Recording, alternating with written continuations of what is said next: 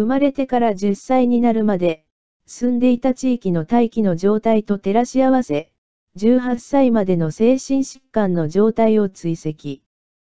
地域別に、大気汚染のレベルを7つの度合いに分類し、追跡比較した結果、最も大気の状態が良かった最上位の地域で、10歳まで暮らした人たちと、最も大気の状態が悪い地域で、10歳まで暮らした人たちの間では、18歳になるまでに、次のような差が見出された。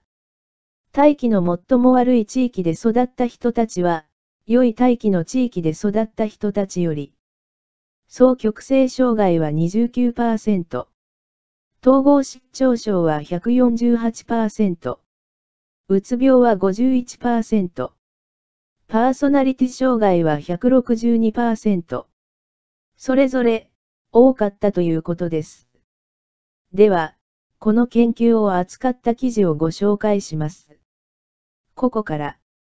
scmp.com 2019年8月21日。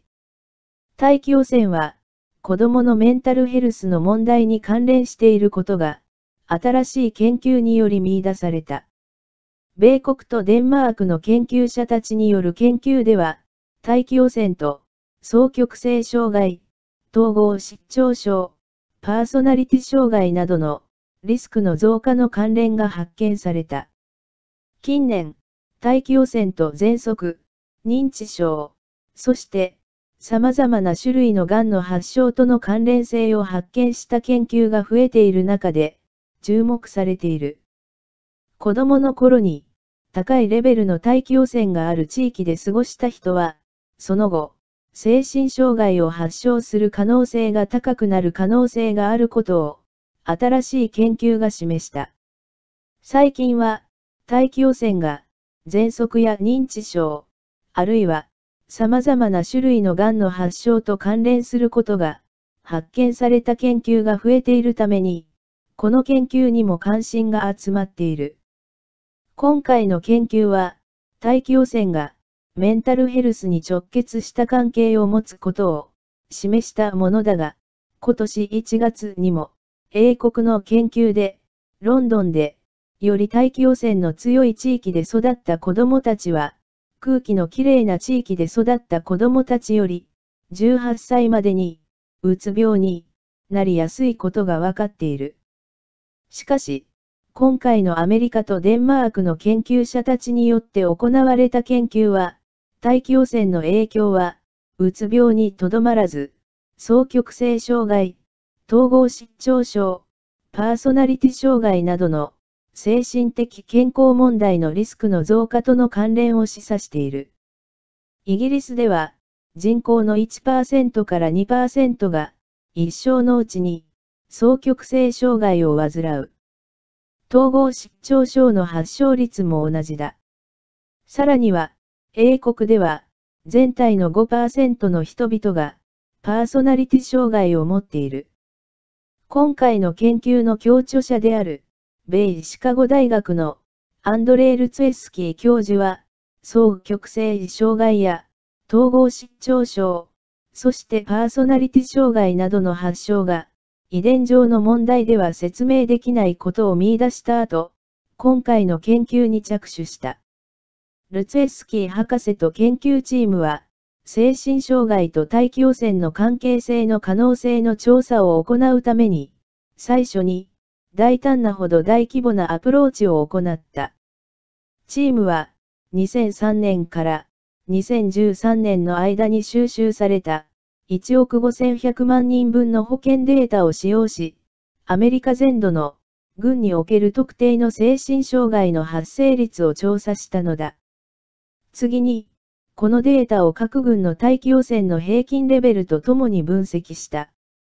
チームは、年齢、性別、軍の貧困レベル、平均収入などの要因を考慮した後、大気の質が良かった、上位の7軍と、大気の状態が悪かった、下位の7軍を比較した。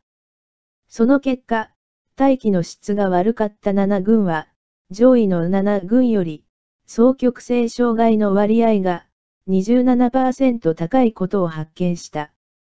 ただし、このアメリカを対象とした分析は、非常に広い地域の平均大気汚染レベルに基づいており、さらに、精神疾患の割合は、保険に加入する可能性が低い、低所得者の状況を反映していない可能性があった。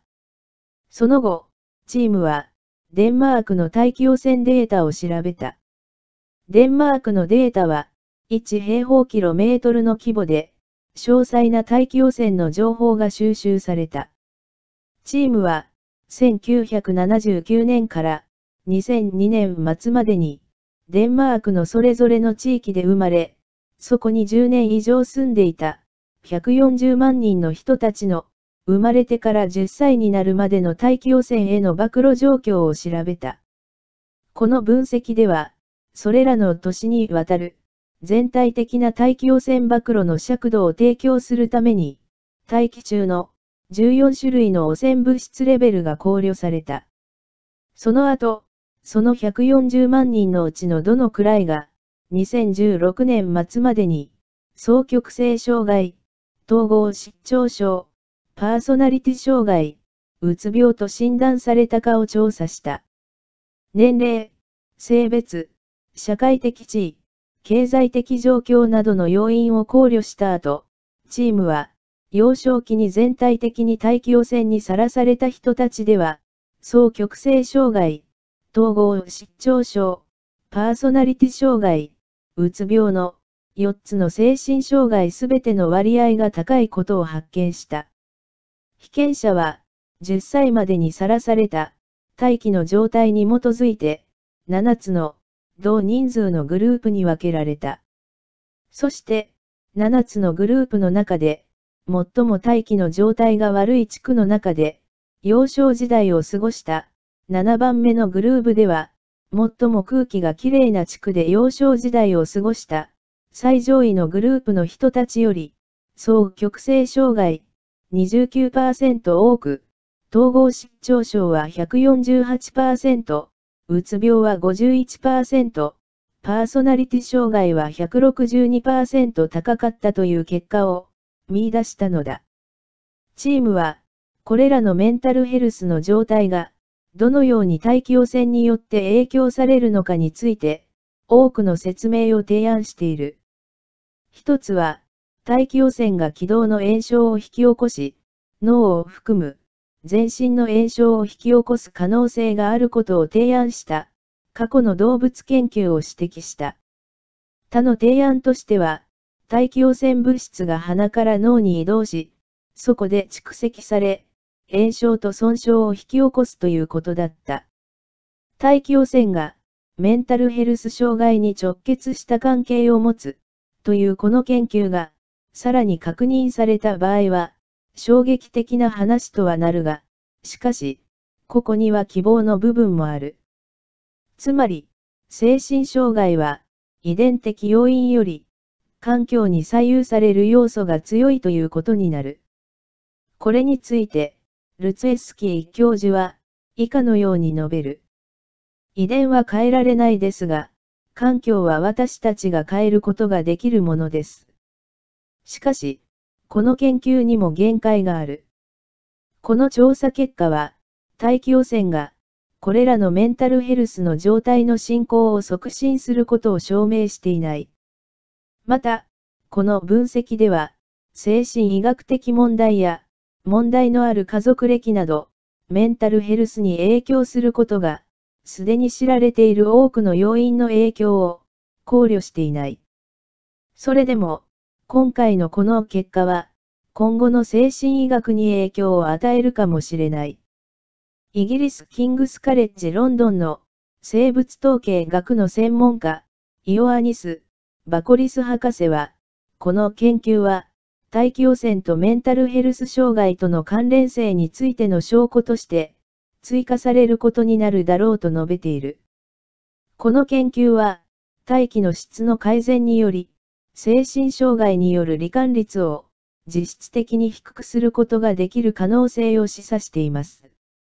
バコリス博士は、大気汚染は、その他にも、健康の多くを損なう可能性がある、という証拠が、すでに十分にあると付け加え、都市の自動車禁止区域などの対策に、注意を払う必要があると述べている。ここまで。メンタルヘルスの問題には、社会的環境や対人関係、あるいは家族環境などが大きく関係してくることは確かですが、それらの影響の上に、この大気汚染の影響が上乗せされる、というように考えてもいいのではないかと思います。どなたにもできることではないとはいえ、理想的には、せめて子供時代は、空気のきれいな場所で過ごさせるということが、結果的には、その子供の将来にとって、とても有益なことにつながる可能性がありそうです。